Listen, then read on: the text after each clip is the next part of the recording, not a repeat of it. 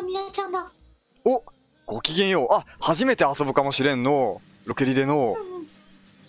いやー、本当に可愛らしいアイコンが。うん。素晴らしい。バーチャル YouTuber 的には私の弟ですね。あ、そうなのかのあ、ママが一緒ってことかのそうそうそう。なるほどの私ママに作ってもらってるので、なるほど。ああ、やっちまった。事故です、今のは。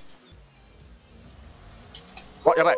やばい、なんか来てる、来てる、来てる、みやちゃん、みやちゃん。あーあやられたのなるほど。あ、そういえば言っとったの、ツイッターでの。うん思い出したの、バンプ好きとか言って。ボールに、ボールに触れないから車に触るみたいな、そんな理論で、賢いの。賢いの。逆転の発想じゃの。よいしょ。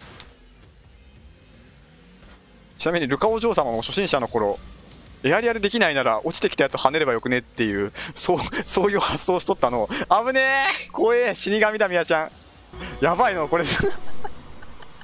上には上がいるって感じじゃの。ちょっとみ、みやちゃん結構血に染まっておるのか、かなり。おおー。危ねあー、読めてたのにジャンプが間に合わない。あ、うまい。うわ、ちょっち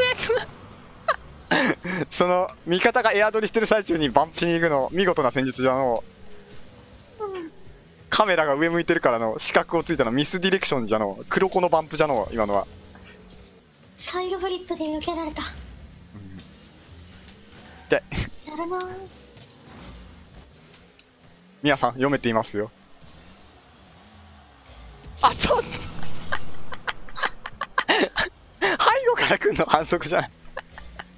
読めて、あた多分ドリフトターンしてね、多分着地硬直が上がってくる。やばい。え、みやさんだ、え、ロケリ結構やってんのかな？マジ、バンプ技術だけ半端じゃないんだけど、バンプ技術。いや、だけとか言ったら失礼か。もうバンプ技術しか今見てないけど。